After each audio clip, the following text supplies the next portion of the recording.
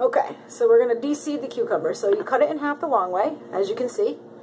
You have both sides of it. You just get a small spoon, like this, and basically you just scrape the seeds out. Just scrape it right down. Take a little force, but just scrape them right down. To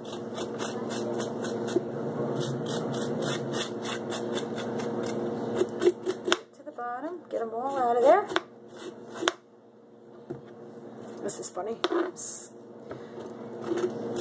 set up my phone for the camera use, and it's funny because you can't really see anything but this. But that's alright, that's the whole point of what we're doing. Alright, so then you have all this stuff that's just garbage anyway. Just wipe that right out of the way. And then, and then you can just cut your cucumber in slices. And then you have your cucumber with no seeds. And it's just fresh, delicious cucumber. And it's easy to do. It takes only one minute.